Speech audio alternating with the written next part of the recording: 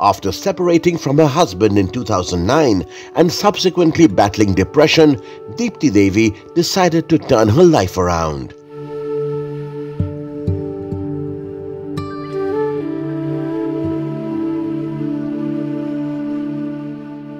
नमस्ते हम दीप्ति देवी बोल रहे हैं हम रांची कोकर में कोकर में रहते हैं रांची कोकर में मेरा रीति ब्यूटी पार्लर चलाते हैं हम 2009 में हम अपने हस्बैंड से सेपरेट होके अपने मायके में रहते थे मम्मी के घर में। उस टाइम मेरा मानसिक स्थिति एकदम सही नहीं था। उस टाइम मेरी एक छोटी बेटी भी है, चार साल की। चार साल की बेटी है, उसको हम कैसे अब बड़ा करें, कैसे पढ़ाई लिखा वो सोच रहे थे। मेरा मानसिक स्थिति भी ठीक नहीं था। तो बंधन बंधन मीटिंग के बारे में हमको पता चला।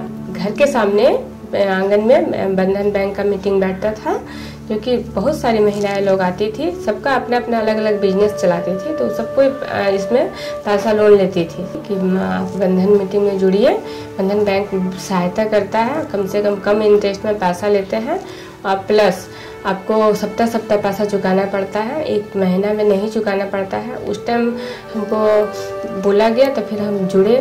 जब महिला लोग आई, बोली तो फिर हम बोले कि पता नहीं भर पाएँगे कि नहीं। हम सबसे पहले ही सोचे कि हम भर पाएँगे कि नहीं।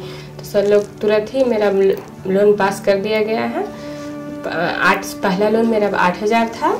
आठ हज़ार में लोन उठाए तो हम घर में ही अपना बिज़नेस चलाते थे। छोटा सा घर में ही करते थे पार्लर सिलाई दोनों करते थे। 2010 में हम फिर लोन उठाए पंद्रह हज़ार।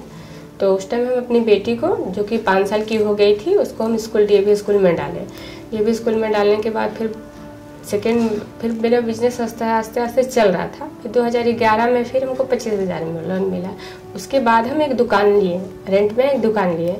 पच्चीस हज़ार में उस टाइम हमको, पच्चीस हज़ार बड़ा अमाउंट मेरे लिए तो बड़ा अमाउंट था, लेकिन काम चलते गया और फैमिली सपोर्ट भी मिला तो हमको दिक्कत नहीं हुआ लोन लोन का किस्तें चुकाने में। तो फिर बेटी को स्कूल डालने के बाद फिर हम अपना अच्छा सा दुकान चला, दुकान खोले, लेकिन 2012 के बाद मेरा पार्लर अच्छा से चलने लगा। 11-12 किस्त हम उठा रहे हैं। अभी हम तो एक लाख बीस हज़ार का मेरा लोन चल रहा है।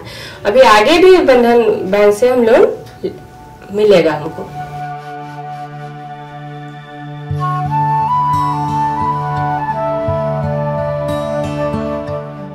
बंधन बैंक के द्वारा जब से क्यू आर कोड आया है, तब से हम भी इस्तेमाल करते हैं क्यू आर कोड, इसलिए इस्तेमाल करते हैं कि पहले क्या होता था कि बहुत सारे कस्टमर लोग बड़ा बड़ा नोट लेके आते थे।